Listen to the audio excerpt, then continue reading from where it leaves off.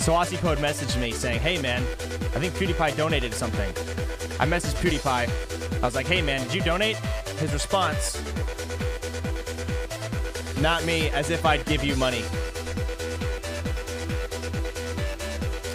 Thanks.